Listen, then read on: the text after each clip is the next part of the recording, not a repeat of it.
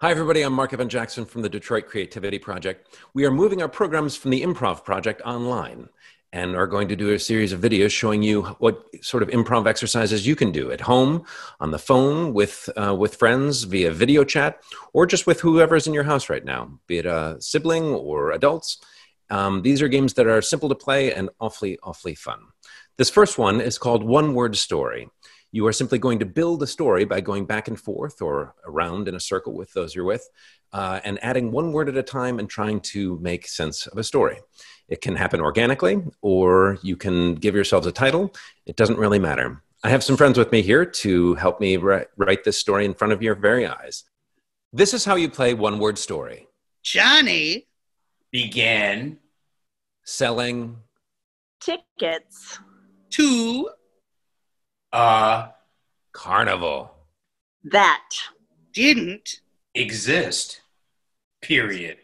So, one afternoon, many detectives pretended to be carnival lovers.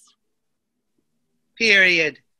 They bought all of the tickets Johnny sold and showed them to their bosses yes, who staged a carnival of policemen and crooks.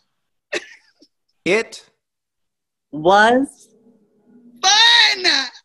And the people Loved. it. the end. Yay. There are many variations of this game, including two word story, where everybody says two words. This is how you play two word story.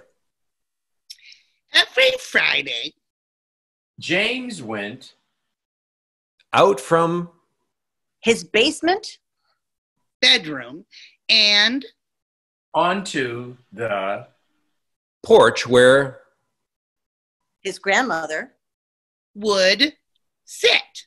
Period.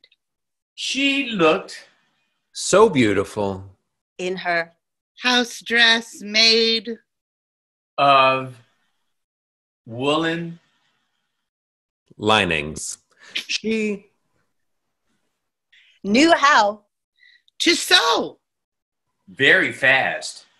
and would often so Woolen lining. that's how you play two word story.